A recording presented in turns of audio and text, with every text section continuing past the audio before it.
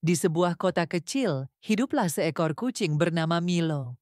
Milo adalah kucing yang ceria, selalu bermain dan bersantai di pangkuan Rina, pemiliknya.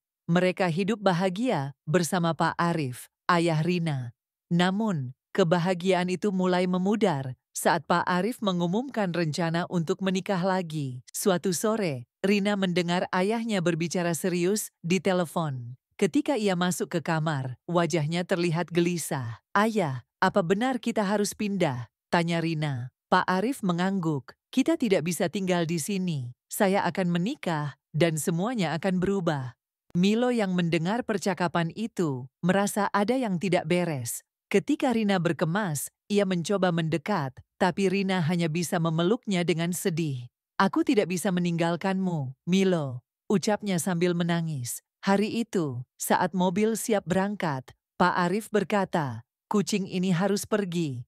Rina terpaku, hatinya hancur. Dalam sekejap, Milo terpaksa ditinggalkan. Ia melihat Rina menjauh, merasakan kesepian yang mendalam. Kini, Milo berkelana di luar rumah yang pernah penuh kasih sayang. Ia mengingat setiap momen indah bersama Rina, berharap suatu saat mereka akan bertemu lagi. Di tengah dunia yang asing, Milo belajar bahwa meski cinta bisa hilang, kenangan akan selalu abadi.